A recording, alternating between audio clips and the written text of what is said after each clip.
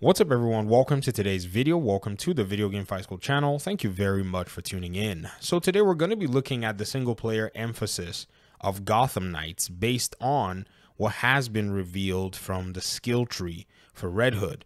Now the really cool thing about this particular skill tree is, it really does showcase pretty much everything that Red Hood can do in the game in terms of his extra skills, his extra abilities. And I think this really does speak volumes as to how this character and potentially even the rest of the knights are going to be designed and how they're going to play in the game. Now, for most of you who may or may not necessarily have, you know, paid attention to my last video, I pretty much spoke very, uh, you know, I would say shortly about one of Red Hood's abilities and how it's actually some kind of a counter ability in a sense. And so in this particular uh, video, we talked about the piercing ability and even the guard block ability. But one thing that has not necessarily been done regarding this particular uh, you know, aspect of talking about the skill tree and all of the above is the fact that we haven't necessarily gone through all the skills with a fine tooth and comb. And I know it will be kind of redundant in a sense because a lot of the skills are, you know, a mixture of abilities and then some of them are numerical values just to make the abilities a little bit more potent. But what's really crucial overall though is when you take your time to look at the skill tree, you're going to realize that there is an emphasis more on the player, the single player agency in this particular character setup, which is what very much, in my opinion, leans towards that aspect that uh, it seems like this game is leaning primarily to a single player side, and then the co op is just an added bonus to the entirety of the game this speaks volumes because you go ahead and you see the comparisons between this game and say other games like uh, Marvel's Avengers. Not that Avengers is a terrible game or whatever, it just did not meet the expectations that players were, you know, hoping it will meet, and it had some monetization practices that really did destroy its credibility after charging full price for the game itself.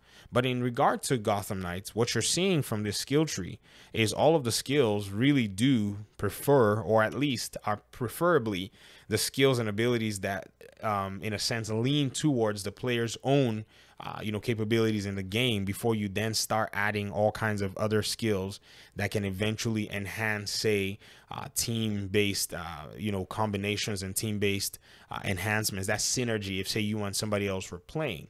And that was very, very big for me because I've been watching this entire skill tree video over the past few days and just, you know, going back once in a while and watching it twice or listening to what the developers are saying. And it's a very crucial part of Gotham Knights because one thing that really will set Gotham Knights, even though it's going to be in the list of Batman games or whatever it is, like one of my audience members, you know, kind of referred to the game, is it's actually a strong emphasis on RPG elements.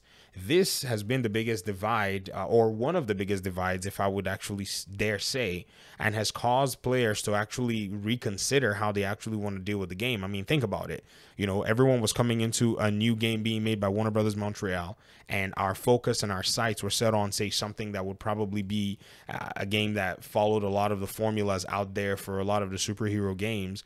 But then we see that the game has a different leveling up system in a sense, and it has where Red Hood has some magical abilities, which the developers had to actually go dig in from a whole line of comics that most comic, you know, aficionados are not necessarily fond of, which is the new 52 representation of Red Hood, where he has uh, mystical abilities that he learned from the All-Caste and all of the above. And those things even have caused the rift themselves. Uh, I was on, on Twitter and we were having a conversation just recently and somebody was saying you know it just felt like they weren't necessarily true to the characters uh, in a sense. And uh, you know i scratched my head but i understand what they meant because you know the developers did not follow a specific vision that people have actually adopted surrounding some of the characters.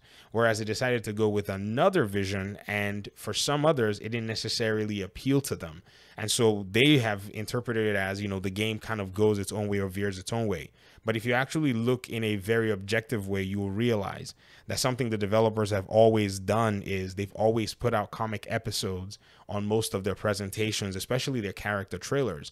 I think the character trailers are actually the best place to go back and look at the canon in that aspect. But I wanted to point this out and encourage those who have not necessarily looked at the skill tree to go back and look through it. It's a very intricate skill tree because they take their time and they hover above almost every single one of them and you can see their uh, descriptions of the abilities and what they do.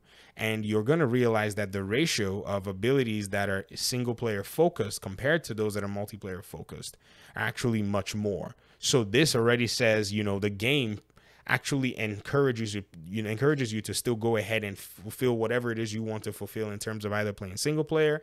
And then when you're playing the co-op side of things there is a small benefit for that particular aspect of the game anyways that's pretty much my video. I wanted to go ahead and just share this little tidbit with you guys. I'd love to hear your thoughts in the comment section. When you saw the skill tree, did it in any way lean towards that aspect in your mind?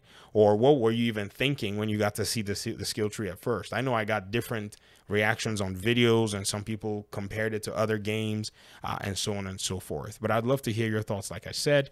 Thanks so much for watching the video. I appreciate your time and audience and hopefully we'll talk pretty soon. Peace out.